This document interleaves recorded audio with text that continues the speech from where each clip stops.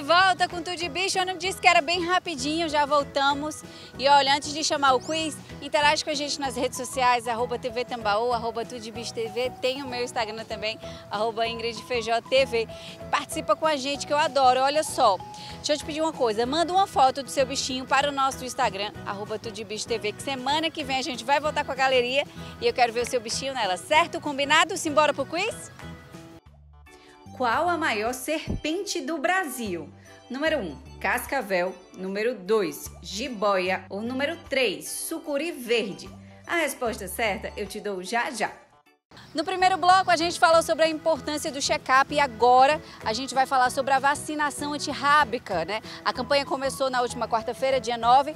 Segunda-feira, vai começar os pontos itinerantes pela capital. A meta do Centro de Zoonose é vacinar mais de 80 mil animais e se você ainda não vacinou, se liga que você precisa vacinar. A gente vai colocar os pontos lá no nosso blog, então acessa portal5.com.br e agora você vai ver o recadinho. A meta é vacinar 80 mil animais e se você é tutor ou tutora de um gatinho ou de um doguinho, precisa vacinar seu animal. Esse é um ato de amor, não é isso, Andresa? Com certeza. Vacinar é um ato de amor, né? E prevenção contra a raiva, que é uma zoonose, né? Uma doença que é transmitida dos animais para os seres humanos. E aí a taxa de letalidade da raiva é muito alta. Então, assim, a melhor forma de prevenção é com a vacinação, gente. É muito fácil. É só vacinar anualmente e a gente tem a prevenção do animal contra a doença. Às vezes, Andrés, o que eu sinto é que por ter um controle da doença por conta da vacina, muitos tutores deixam de lado, ah, esse ano eu não vou dar. Precisa dar todos os anos. Isso. A vacinação ela tem que ser feita anual. Esse controle ele só sai porque justamente a gente todos os anos vem reforçando é, essa ideia, né, que assim a gente não está protegendo só o animal da gente, a gente está promovendo uma saúde humana, porque a partir do momento que a gente é, vacina o nosso animal, a gente está bloqueando, certo, é, que o vírus adentre na área urbana. Dessa forma, é, nos protegendo, né? E aí muita gente vem aqui e fica com medo, com receio do, do cãozinho ou, ou do gatinho, sentir dor, ter reação, não tem reação ou tem? É, a vacina é uma vacina muito segura, certo? É, casos de reação são muito inespecíficos de acontecer, porque ela é uma vacinação tão segura que é feita em massa, né? Uhum. Todos os anos, né? A quantidade que a gente faz então pode dar sem medo. Venha, traga seu pet. A gente está falando da, da, dessa campanha que começou nesta quarta, mas vai, segue o mês inteiro. Aqui no Zoonose vai até que dia? Aqui no Zoonoses vai até o final do mês, tá certo? Aí todos os cães e gatos, a partir dos três meses de idade, tem, sem contraindicação, eles podem tomar a vacina antirrábica. E aí vai ter também os pontos volantes, porque eu sei que muita gente às vezes não consegue trazer um animal para cá, porque mora longe, enfim não tem desculpa, vai ter perto da sua casa. Isso, Ingrid. A partir da segunda-feira, dia 14, vamos montar postos volantes. E esses postos volantes, eles vão ser divulgados nos meios de comunicação, certo? E eles vão durar em torno de pelo menos dois dias em cada localidade, para que todo mundo consiga vacinar o animal com mais tranquilidade, né? Você se organiza aí com seu horário, aqui, é rapidinho, mas tem que ter alguns cuidados. Isso. A gente recomenda, né, o uso de máscaras e continuar com o distanciamento social, né? Porque a gente ainda não saiu da pandemia, então todo cuidado é pouco. É, você usa máscara, álcool em gel, chegou em casa, bota assim um produto específico para o pet, está tudo certo. O importante é prevenir. Isso mesmo, o importante é vacinar. Ai, faça a sua parte, viu? Eu vou trazer a minha rara, já está combinado. Tá ok, tô te esperando. Olha, agora deixa eu dar um, um, recadinho bem rápido. Presta atenção nisso. Você sabe, né, que a Casa dos Criadores é a melhor loja do universo pet desta cidade. Por isso, tudo que é novidade a gente traz aqui no Tudo de Bicho. Simbora ver?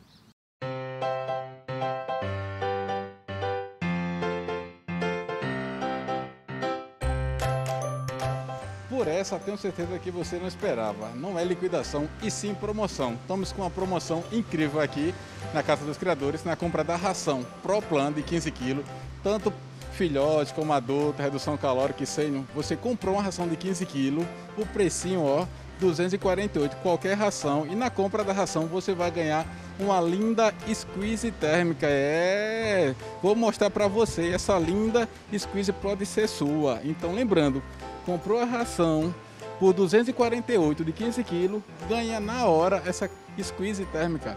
Porque aqui, ó, o seu pet é da família. A Casa dos Criadores, você já sabe, né? Tem duas unidades. Uma na Torre, na Avenida Barão de Mamanguape, e a outra no Bessa, na Avenida Presidente Afonso Pena. Tá precisando de alguma coisa, manda o WhatsApp, liga pra lá, porque o Pet Delivery vai deixar na sua casa. Você não fica sem não, viu? E o Você Sabia de hoje tem boas notícias. Senado aprova pena maior, de até 5 anos, para maus tratos contra cães ou gatos. O projeto altera legislação sobre crimes ambientais, que atualmente prevê detenção de três meses a um ano. O texto já passou na Câmara e agora vai à sanção de Bolsonaro. Essa é uma notícia maravilhosa que a gente dá aqui com muito orgulho no Tudo Bicho, porque é preciso sim punir de forma mais severa quem maltrata os animais. Isso é inadmissível que é nos dias de hoje ainda existam pessoas que maltratem cães, gatos, enfim, qualquer tipo de animal. Então a gente está aí esperando a sanção do presidente Bolsonaro.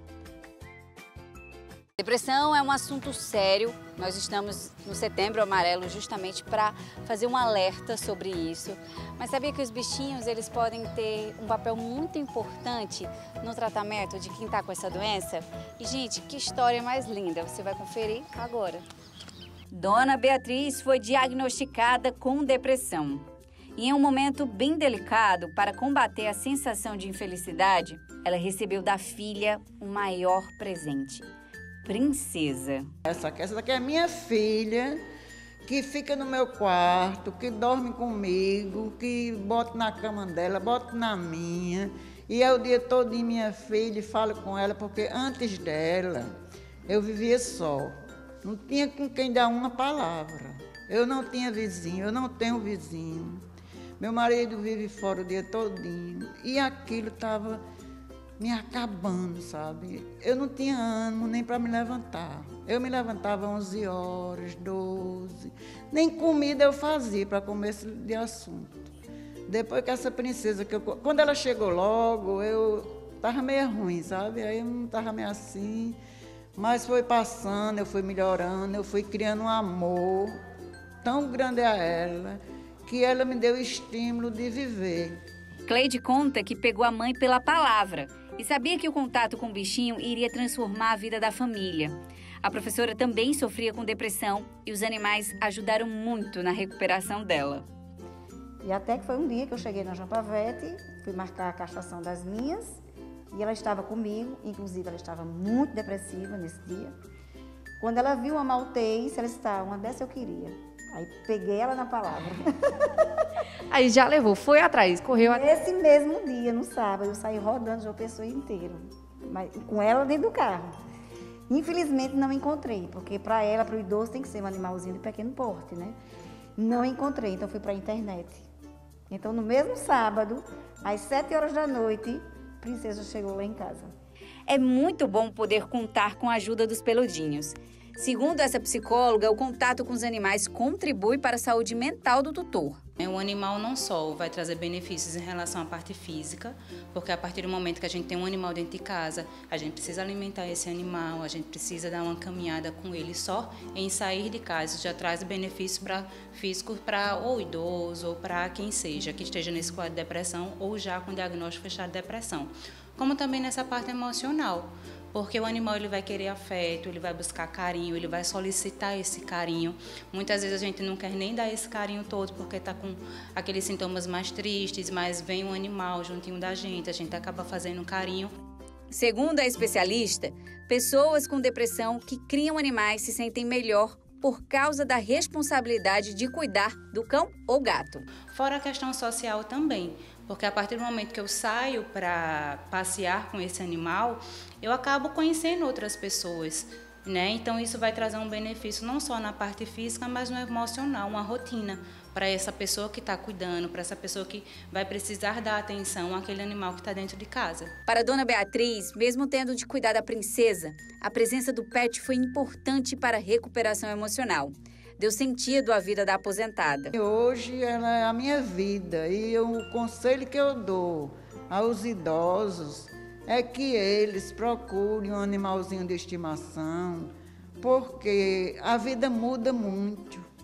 É um amor que não tem explicação. É um amor sem explicação. É um amor tão grande que é infinito.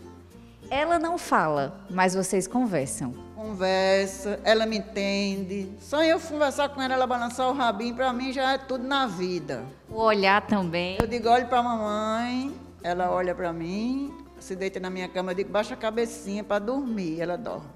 Aí quando eu quero ela na caminha dela, eu digo, olha ali, a caminha é a sua, ali é a sua caminha, vá para a sua caminha. Aí ela vai. Mas olha, é um amor que não tem explicação não.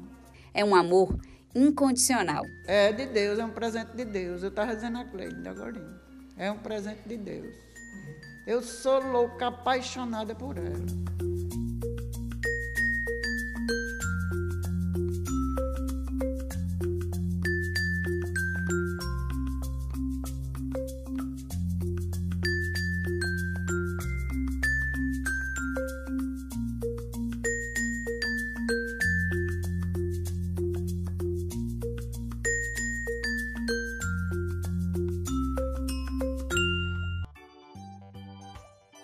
Início do programa, eu te perguntei qual a maior serpente do Brasil. E a resposta certa é a número 3, sucuri verde. Essa é a maior serpente do Brasil, podendo as fêmeas atingirem em média 6 metros de comprimento. A gente, sou tão apaixonada por vocês e pelo Tudo de Bicho que nosso sábado passa assim voando, né? Mas seja sábado, né? Sábado Tudo de Bicho aqui na telinha da TV Tambaú. Se você perguntar o que você faz no sábado, você já diz, né? Tô assistindo aí o Tudo de Bicho com a Ingrid Feijó. Vou ficar com saudade, mas a gente pode matar sim lá no portal t5.com.br. Você vai poder rever todo o nosso programa, vai poder acompanhar a gente também nos nossos Instagrams. Tem arroba Tudo de Bicho TV, tem arroba TV Tambaú, para ficar por dentro de tudo que rola na programação, porque a nossa programação é a melhor da Paraíba. Sim, senhor! Agora você vai ficar com Maísa, rainha das tardes, depois tem Raul Gil, muita coisa bacana, uma programação feita especialmente para você e toda a sua família. Então fica com a gente ao longo da semana, fica com a gente lá no Portal T5 e nas redes sociais. Beijos, lambejos. Até semana que vem, coloca aí, viu? Depois do Povo da TV tem o quê? Tem tudo de bicho com Ingrid Feijó. Beijo, até mais, gente.